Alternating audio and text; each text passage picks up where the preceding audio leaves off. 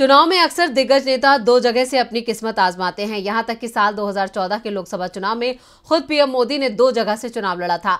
लेकिन दो सीटों से चुनाव लड़ने का मसला न सिर्फ़ संसद तक सीमित है, बल्कि ये सुप्रीम कोर्ट तक जा पहुँचा है। इसके खिलाफ जनहित याचिका दायर की गई थी, जिस पर आज कोर्ट ने सुनवाई की। इस दौरान सर्वोच्च अदालत ने बड़ी टिप्पणी करते हुए याचिका को खारिज कर दिया। नेताओं के एक सीट से ज़्यादा चुनाव लड़ने को लेकर कई बार आपत्ति दर्ज कराई गई है। यहाँ तक कि चुनाव आयोग में भी यह मामला पहुँचा, लेकिन इसे लेकर कोई फैसला नहीं आ सका। वहीं अब इस मामले को लेकर सुप्रीम कोर्ट में भी सुनवाई हुई, जहाँ कोर्ट ने इस जनहित याचिका को खारिज कर दिया।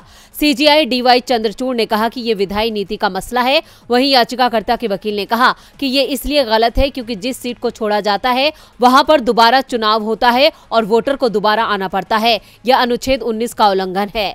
दक्षिण पूर्व एशिया समेत ज़्यादातर देशों में स्थापित लोकतंत्र में सिर्फ़ एक सीट से चुनाव लड़ने का प्रावधान है। इस पर सीजीआई ने कहा कि चुनाव लड़ने वाला पहले से कहा जानता है कि दोनों सीटों पर जीत हासिल करेगा। ये नीतिगत मामला है कोर्ट ने केंद्र और चुनाव आयोग याचिकाकर्ता के पक्ष पर गौर करने के बाद यह निर्णय लिया कि ये एक विधायी नीति का मुद्दा है। लोकतांत्रिक चुनावी प्रक्रिया में संसद इस पर विकल्प दे सकता है। संसद ही इस पर कदम बढ़ा सकता है। यह अदालत ऐसे में कोई हस्तक्षेप नहीं करेगी। याचिका का हम निपटारा करते हैं। अब कोर्ट ने इस मसले पर अपने कदम पीछे खींच लिए हैं। लेकिन चुनाव आयोग ज़रूर सख्त है।